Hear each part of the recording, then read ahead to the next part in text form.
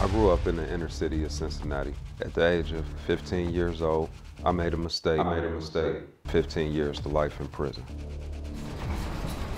The best way to give back to the community, help others, find a way to not make the same mistakes that I had made. Eventually, I heard about Nehemiah. Not only has Nehemiah provided me with a career, it's changed my life. Nehemiah Manufacturing, building brands, creating jobs, changing lives.